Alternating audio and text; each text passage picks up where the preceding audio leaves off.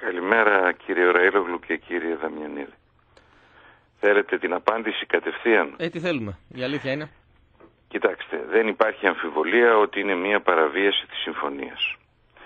Από μόνη της και με δεδομένο το κείμενο της συμφωνίας όπως το έχουν προβλέψει αυτοί που την εκπώνησαν ή από την ελληνική πλευρά που συμφώνησαν σε ορισμένα κρίσιμα σημεία όπως αυτά προβλέπει την ε, παραπομπή τέτοιων ζητημάτων σε κοινές επιτροπές σαν και αυτές που ετοιμάζουν τα κοινά σχολικά εγχειρίδια ή τα καθαρίζουν από όπως γράφει η συμφωνία εθνικιστικές και επιθετικές ε, αναφορές.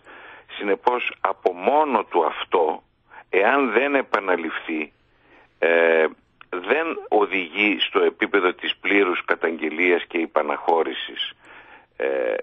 νομίζω όμως ότι είναι τόσα τα εγγενή ελαττώματα, οι παρανομίες με βάση το Σύνταγμα της γειτονικής χώρας, ε, η γνώμη μου είναι και με βάση το Σύνταγμα της Ελλάδος, δεν ξέρω τι θα πει ή τι είπε το Συμβούλιο της Επικρατείας, αλλά εάν υπάρξουν σοβαρές ε, προσφυγές με επίκληση και παραβιάσεων ανθρωπίνων δικαιωμάτων δικό σας και δικών μου που αφορούν άειλα πολιτιστικά αγαθά, δηλαδή το δικαίωμά μας να επικαλούμεθα ως τμήμα της ελληνικής μας ταυτότητος την μακεδονική πτυχή της ταυτότητος αυτής, που είναι αποκλειστική υπέρ της Ελλάδος εδώ και πάνω από 3.000 χρόνια, ε, πιστεύω ότι θα καταπέσει αυτή η συμφωνία.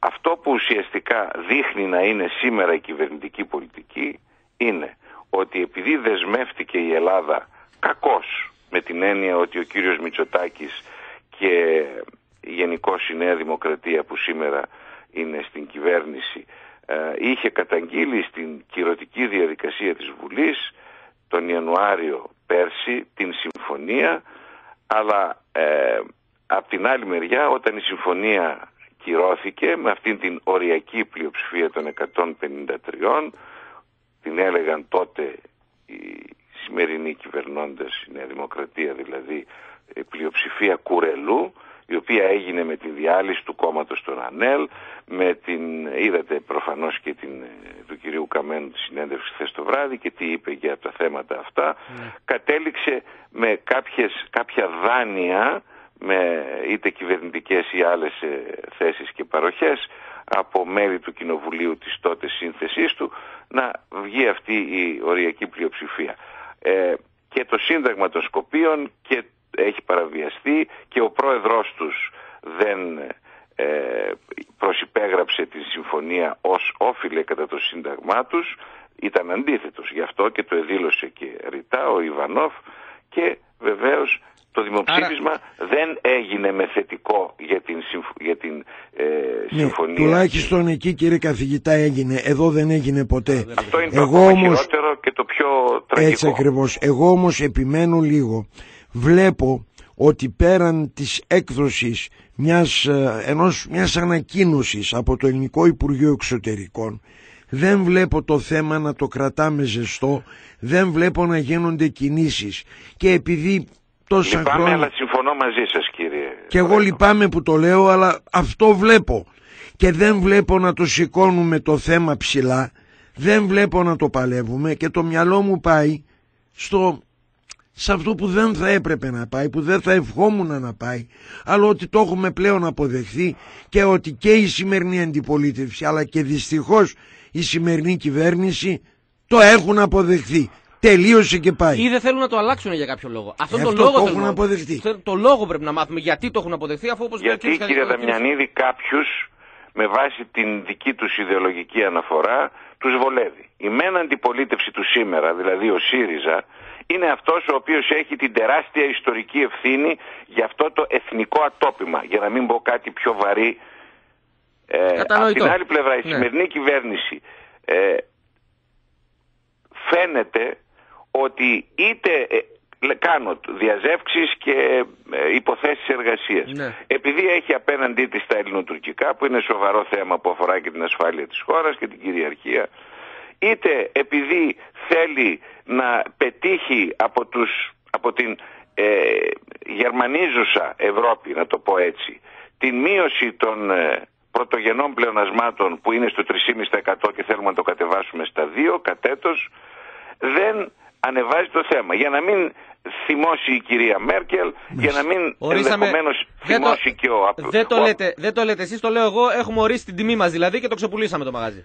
Κύριε Δυστυχώς κάπως έτσι. Κύριε Καρακοστάνογλου, ε, ειλικρινά, αν και τα, δεν το κάνω συχνά, για μία ακόμη φορά σας ε, ευχαριστώ για το ότι αποδεικνύεται ότι παρά την κομματική σας προέλευση από το χώρο της σημερινής κυβέρνησης δεν μασάτε τα λόγια σας και λέτε την αλήθεια έτσι όπως πρέπει να την αντιληφθούμε. Αυτή Αυτό... να ακούσει ο λαός μας, Αντώνιο Ραΐδογλου. Αυτό σας τιμά.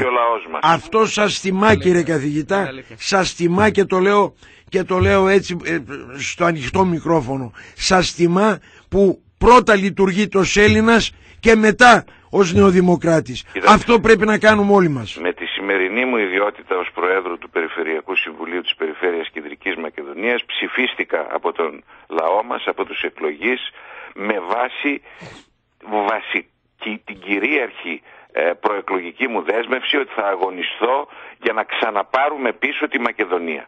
Και αυτό προσπαθώ να κάνω μαζί με χίλιες άλλες δουλειές που επιβάλλει η, η προεδρική μου καρέκλα αν θέλετε στην οποία με στήριξαν ε, νομίζω οι, οι 62 από τους 68 ψηφίσαντες στο Περιφερειακό Συμβούλιο και αυτό μου δημιουργεί πολλές υποχρεώσεις και ταυτόχρονα όμως και μία κοινή αποδοχή την οποία εγώ την ερμηνεύω ότι περιλαμβάνει και την προάσπιση του ε, ελληνικού μακεδονικού κεκτημένου Μακάρι... το οποίο δεν μπορούμε από το λάθος μιας κυβέρνησης, από τη λάθος εκτίμησή της ή δεν ξέρω τι άλλο, εννοώ την προηγούμενη και από το ότι η σημερινή έχει πολλά στο κεφάλι της, να το ξεχάσουμε. Το μόνο Μπορώ να πω... δώσω στον κύριο Μητσοτάκη το ελεύθερο ε, για λίγο όταν ε, ε, έχει άλλες προτεραιότητες να το βάλει δεύτερο το θεμα αλλά δεν μπορώ να δεχθώ ούτε κυβερνητικές και υπουργικές αναφορές ότι η συμφωνία πρέπει να τηρηθεί επακριβώς και ότι έτσι θα λυθεί το πρόβλημα. Διότι αυτό υπονοεί ότι η συμφωνία είναι καλή. Κύριε...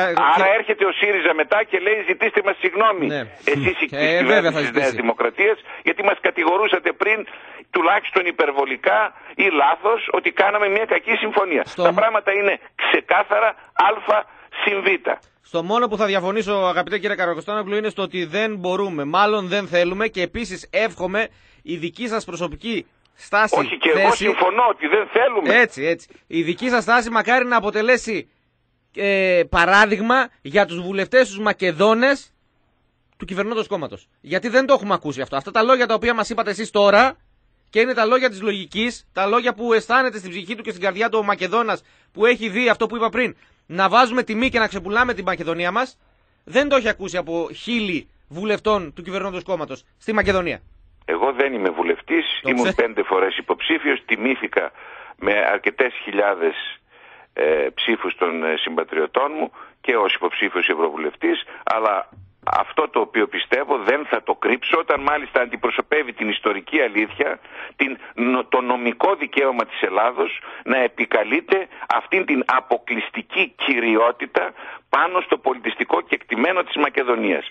Και εάν κάποιοι και ίσως και μέσα στη Νέα Δημοκρατία, ίσως και στην κυβέρνηση, θεωρούν ότι θα έπρεπε να, για να λύσουμε με κάποιον συμβιβαστικό τρόπο το ζήτημα, να ανεχθούμε το Βόρεια Μακεδονία, αυτοί οι ίδιοι είναι που έχουν πει ή θα έπρεπε να το λένε ακόμα και σήμερα, ότι τη δυνατότητα να ονομάζονται Μακεδόνες κατά την συμφωνία οι κάτοικοι του γειτονικού κράτους και η γλώσσα τους μακεδονική και η ηθαγένειά τους και η ταυτότητά τους μακεδονική είναι το κύριο πρόβλημα στο οποίο όμως η ύπαρξη του Βόρεια Μακεδονία δεν επιτρέπει να το Μάλιστα. κόψουμε ό,τι και να βάλουμε σε μια συμφωνία. Διότι αυτοί που κατοικούν την Βόρεια Μακεδονία και γι' αυτό αυτή η υπουργός τους άλλαξε βλέποντας και τις επερχόμενες εκλογές 12 Απριλίου όπου ελπίζουν ότι θα βγει το δεμερό και θα έρθει μόνο του, μακάρι λέω εγώ, να ε, καταγγείλει αυτό από τη μεριά τους στη συμφωνία και να μας δώσει ως απομηχανής Θεός και εμάς τη δυνατότητα να πούμε